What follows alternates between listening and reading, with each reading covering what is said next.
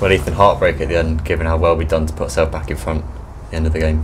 Yeah, um, yeah, it's a disappointing one. It feels like instead of a point gained, I think it feels a bit like two points lost, which is gutting for the boys. Is I think similar to the Yeovil game. I think it's again four points dropped. Potentially, we, I know we come out of three games in one week with nine points.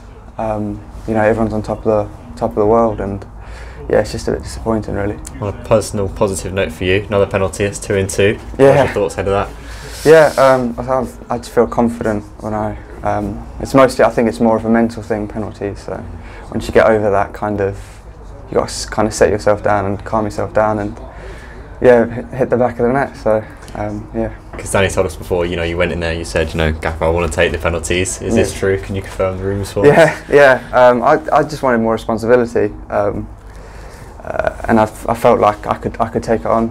Um, I know I'm only young, but um, I kind of I want to shine. So uh, for for the club, and hopefully I've done that. So.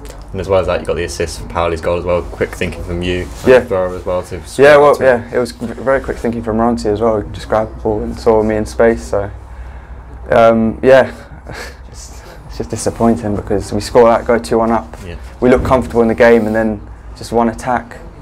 Um, so yeah, it's fast football, I guess. So we'll bounce back and get ready for Barrow. It's disappointing, isn't it? Because you know we didn't play our best game, but we were still leading the game, and to be pegged back the way we did with a long ball into the box, it sort Mm. of, you know, it feels we need to sort of defend that all the way to the end. Yeah, um, I think we had three centre backs on at the end just to kind of try and nullify that threat.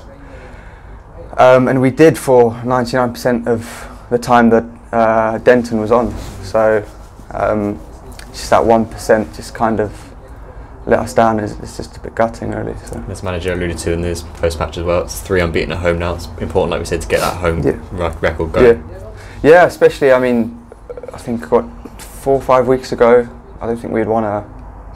Yeah, we had a, we didn't have a great record here. So um, yeah, and if you look at it positive, like we're three unbeaten, so we're trying to put a run together, and that was uh, the gaffer's thoughts going into the game, just trying to collect those points and push all the Aldershot up the table.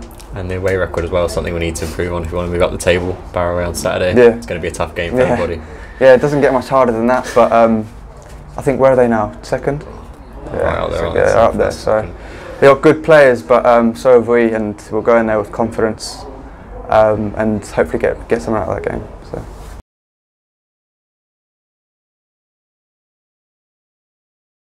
Click here for the next video and click here to subscribe.